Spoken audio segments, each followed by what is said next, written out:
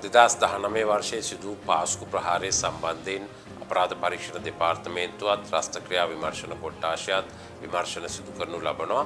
ඒ වගේම මේ වන විට සැකකරුවන් හස්සිය විසි හතර දෙනෙක් අත්තඩංකුට ගෙන තිබෙනවා මේ සිද්ධීන් වලට අදාළව ඒවගේම දෙසිය විසි හතක් දැනටත් බන්ධනාගාරගතව සිටිනවා මිට අමතරව අසු තුන් දෙනෙක් මේ වන විටත් පොලිස් භාරයේ රැඳවුම් නියෝග මත සිටිනවා.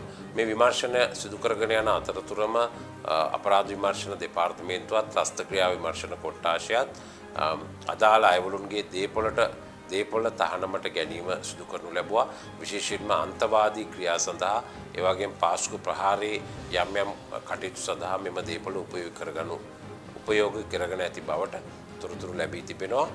එහිදී ත්‍රස්ථක්‍රියා විමර්ශන කොට්ටාශයත් අපරාධ පරීක්ෂණ දෙපාර්තමේන්තුවත් දේශීය මුදල් විදේශීය මුදල් ස්වර්ණාභරණ සහ මැනික් මෙම ත්‍රස්ථක්‍රියාවල යෙදනු සැක්කරුවන් භාරය තිබී සහ ඔවුන්ගේ දේපලවල තිබී සොයාගෙන තිබෙනවා ඒවායේ වටිනාකම රුපියල් මිලියන දෙසිය පහක් පමණ වන බවටයි වාර්තාාවී තිබෙන්නේ.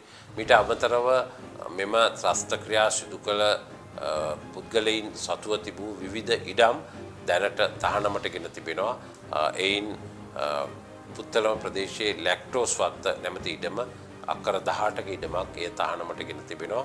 ඉට අමතරව වැලිකන්ද අසේලපුර පිහිටිය අක්කර විසිපහක ඉඩමක් ඒ ආකාරයටම තහනමට ගෙන තිබෙනවා.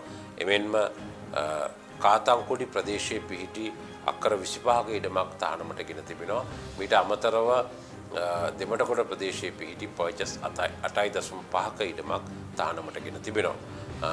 එමෙන්ම මේ සම්බන්ධයෙන් තවදුරටත් විමර්ශන සුදු කිරීමේදී මෙම ත්‍රස්ථ ක්‍රියා එවගේම අන්තවාදී ක්‍රියාවලට උපයෝග කරගත් වාහන හතක් බොලැරෝ ජීප්‍රත එකක් යතුරු පැදි හතක් සහ ත්‍රීරෝධරත එකක් පොලිස් භාරයට ගෙන තිබෙනවා මේ සියල්ල සම්බන්ධයෙන් දැනට විමර්ශන අවසන් කර තිබෙනවා.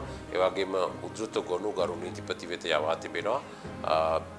ලබන ජූලි මාසය තුළ මීට අදාළ සියලු සැක්කරුවන්ට එරෙහිව අධිචෝදනා පත් ඉදිරිපත් කිරීම නියමිත බව ගරු නීතිපති විසින් දන්නවා තිබෙනවා.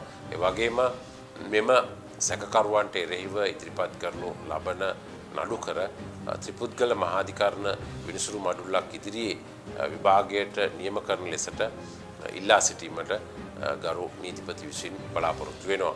ඒ අනුව ඒ කටයුතු සාර්ථකව නිමවින් පවතින අතරම මීට අදාළව ගිනුම් සීයක ඇති රුපියල් මිලියන එකසිය තිස් අතරක මුදලක්ද තහනම් කර තිබෙනවා මුදල් විශුද්ධිකරණය සහ ත්‍රස්තවාදී වැලැක්වීමේ පනතේ ප්‍රතිපාදනය යටතේ. තවදුරටත් අපරාධ පරීක්ෂණ දෙපාර්තමේන්තුව මෙන්ම ත්‍රස්ත ක්‍රියා විමර්ශන කොට්ටාශය පාස්කු ප්‍රහාරය සම්බන්ධයෙන් පමණක් නොව පාස්කු ප්‍රහාරයට සම්බන්ධිත එවගේ පාස්කු ප්‍රහාරයට පෙර සිදූ අනිකුත් අන්තවාදී ක්‍රියාවන් සම්බන්ධයෙන්ද තවදුරටත් පරීක්ෂණ පවත්වන්න ලබන. breaking.lk